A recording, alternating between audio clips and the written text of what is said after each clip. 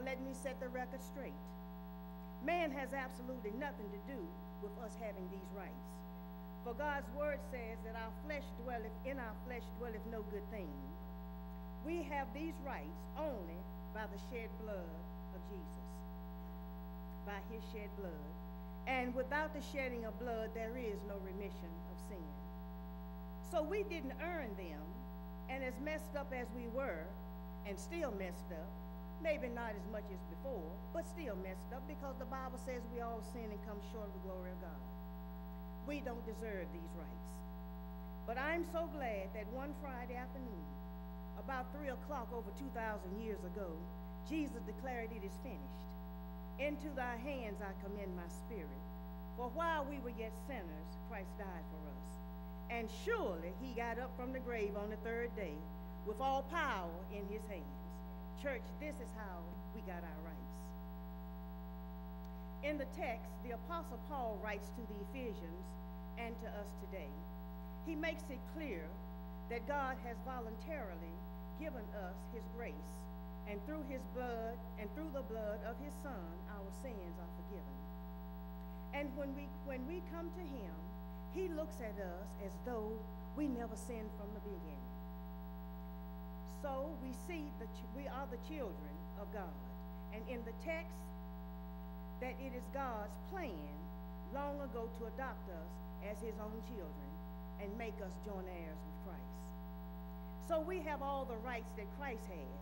And unlike our rights according to the law of the land, that's guaranteed by a piece of paper, your blood-bought rights are guaranteed by the Holy Spirit. And it is confirmed in the text, for we have heard the truth, the good news, the gospel of Jesus Christ, that the Holy Spirit is our guarantee that God will do everything that he promised. And you have the assurance that Satan cannot destroy your blood-bought rights. Just a few more minutes. Now, I realize that sometimes we forget our rights. We forget that our rights were bought with a price. So I bring this message, as I bring this message to a close, I want to remind you of your blood-bought rights. Number one, you have the blood-bought right to be loved by an awesome God who gave the best he had, his only begotten son, to die for you. You have the blood-bought right to be saved. For God so loved the world that he gave his only begotten son, that whosoever believeth in him shall not perish, but have everlasting life. You have the blood-bought right to have a covenant relationship with Christ, to worship him in spirit and in truth. You have the blood-bought right to speak the word, to preach the word, teach the word, pray the word, and live the word. You have the blood-bought right to live. Jesus said, I came that you might have life and have it more abundantly.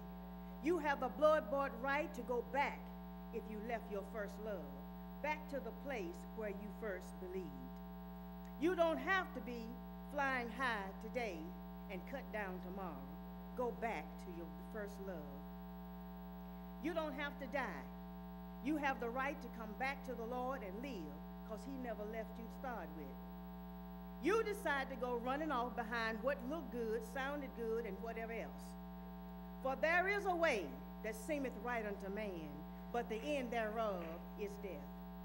Now I know you say I have done some bad things in my life, and I, I, I, just don't know what God will do. I don't know whether he will save me, whether he loves me. I just don't know. But I tell you, you can be rescued. And instead of getting what you deserve, nothing short of death, for the mess you made of your life, Jesus offers you the gift of eternal life. Hallelujah. You have the blood-bought right to be healed, delivered, and set free.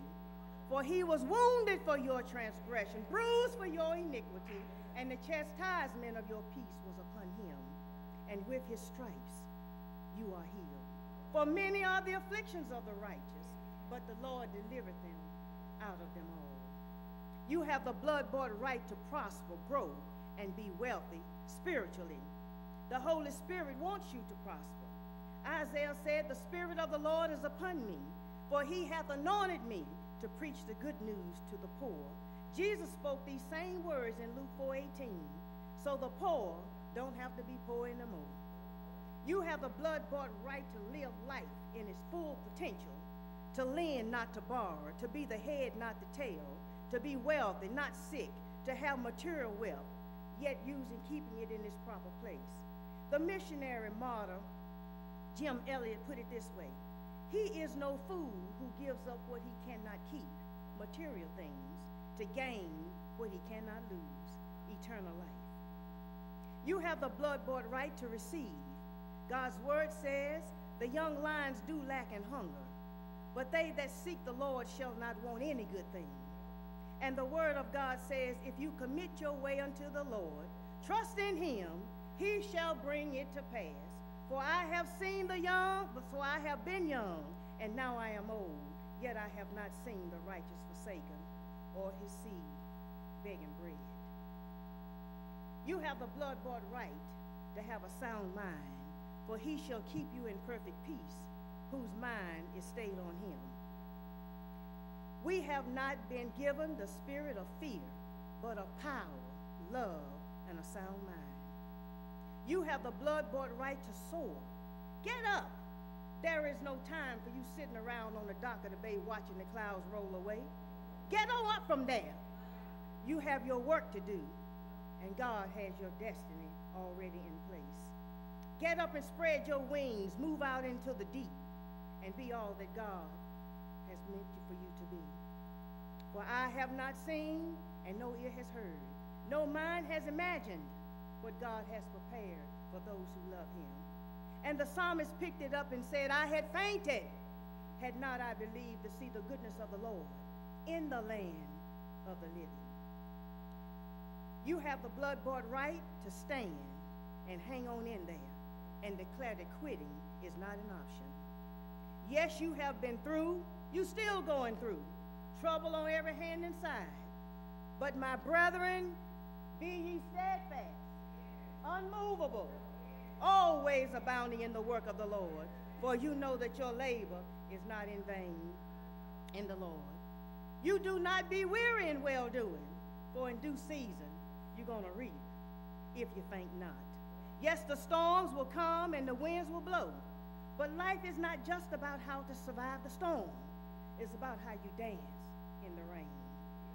And you can rest assured that weeping may endure for a night, but I declare unto you, joy, go, hallelujah, joy gonna come in the morning.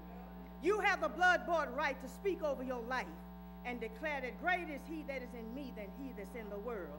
Therefore, I will do all things through Christ Jesus, who strengthened me. For I am more than a conqueror through him that loved me. You have the blood bought right to hang on in there. Love the Lord your God all with all your heart. You have the right decree, to declare and decree that all things gonna work together for your good. Because you love him. Yes, you do. Yes, you do you have the right to decree and declare that no weapon formed against you is going to prosper. You have the right to decree and declare that you're going to walk by faith and not by sight. You have the right to decree and declare that I'm going to live for him all I know how to do. He is my Lord and he is my Savior. You have the right to call those things that are not as though they were. Worshiping him in spirit and in truth. You have the right. You have the right. Stand, stand, because you got the right to do that. Hallelujah. Stand and be counted. Stand and be counted. And you'll see. You'll end up getting wells you didn't dig. You'll end up getting wealth you don't know where it came from. People just walk up to you and say, here, here this is. Hallelujah. You got the right. You got the right. God gave it to you through his son. Yes, he did. Yes, he did. Yes, he did. And you're living beneath your purpose. You're living beneath your everything that God has for you. You're living beneath that. When you don't when you don't exercise your right, when you got that feeling in you for some reason, I'm not good enough. You are good enough. He gave you the right. Hallelujah. Yes, he did. Yes, he did. Yes, nobody tell you you ain't good enough. You you can't do this, you can't do that. They don't have no say over your life. They don't know the God you serve. And they sure don't know what he can do. But I declare unto you, stand on your rights. Stand on your rights. Don't let nobody take from you what God has already put in place for you. He suffered, he bled, he died. He gave his life for your rights. Yes, he did. Yes, he did. Yes, he did. Without his shed blood, we would have no rights. Thank you, God. Thank you, God. Thank you, Lord Jesus. Thank you, God. Thank you, God. Thank you, God. Thank you, God. Thank you, thank you, thank you. Hey, glory. Thank you. We got rights, y'all. Man didn't give them. And guess what? Man can't take them away. Is there anybody glad about it? Anybody glad about it? Hallelujah. You can't take them because you didn't give them. Hallelujah. I know you'd like to, but it ain't yours to do. Hallelujah. Thank you, Jesus. Thank you, Jesus. You can't take nothing God gonna give me. I just thank you, God. Hallelujah, hallelujah. The only way it don't work in my life is that I don't let it work. You can't do that to me. I can mess it up, but you can't because he gave it to me. Hallelujah. Work all work, but you can't take it. Hallelujah. And I ain't finna give it to you. Hallelujah. Thank you, Jesus. Thank you, God. Thank you, God. Thank you, God. He went through too much. He suffered. He bled. He died. Hallelujah. So I could have rights. You could have rights. You could have rights. And we owe it all to him. Don't ever get the big head. He doing all this for you. He's helping you to go through your do whatever you need to do, or you just do it. Or it ain't you. It, I know that ain't good. It ain't you. It is him. He already set it in place. Your destiny was already set before you were born. He knew you. I, know the plan I have you. Hallelujah. Thank you, God. Thank you, God. Thank you. Thank you. Thank you. Thank you. Thank you. Hallelujah. Hallelujah. Ooh, hallelujah. Thank you, God. Thank you, God. Thank you, God. Thank you, God. That's how that's how we can because of our blood bought rights. That's how we can sometimes when a whole bunch of things start happening. That's why we can live in the dungeon, but we can testify through the clouds because we know what he told us. We know what he did. We know what he went through. He did it all for us. He did it all for us. Hallelujah, hallelujah. We ain't going to stay in that dungeon long either because the more, the more we call on him, the more we lift him up, the more we give him praise, the more he going to bless us because he inhabits the praises of his people. He gets joy out of us praising him. Hallelujah, because he lets him know. We appreciate, we appreciate what he's doing for us, and he gets joy out of that. And I don't know about you, but I want to praise him with every breath I got in me. Because I know it is because of him that I live, move, and have my being. It is because of him that I'm standing here right now. Because I got sense enough to know. Pastor, I got sense enough to know if he don't breathe in, I don't breathe out. I got sense enough to know he don't breathe in. I don't breathe out. Hallelujah. Thank you, thank you,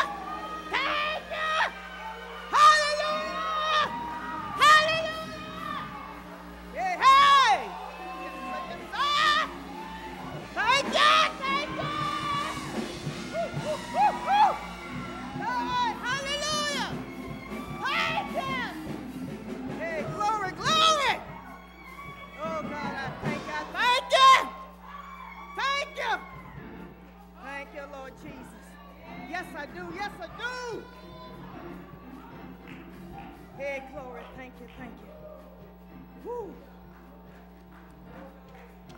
Woo. Hey. Y'all got rights, y'all. Exercise your rights in Christ Jesus. Because he didn't just give them to you to sit down and say, I got them. He gave them to you for you to use. Everything that he put in us, he put it in us for a reason. We're not to just sit down and, and just gloat over what we got. Oh, I, oh, I. no. We are to make disciples. We are to go. He, he, go ye therefore and do what? All nations. That is a great commission. Every one of us. He put that in every one of us. And then he backed it up when he gave us all these rights that we got. He backed it up. We can't say we can't go out because he gonna fix that. He already fixed that. He didn't tell us to go and then didn't equip us to go. He already fixed that. We don't have no excuse. We don't have no excuse. He is not pleased when we sit down and don't exercise these rights that he suffered, bled, and died and gave his blood for. Y'all know what I'm saying? He is not pleased. He is not pleased. I'm going to set myself down. Y'all be blessed.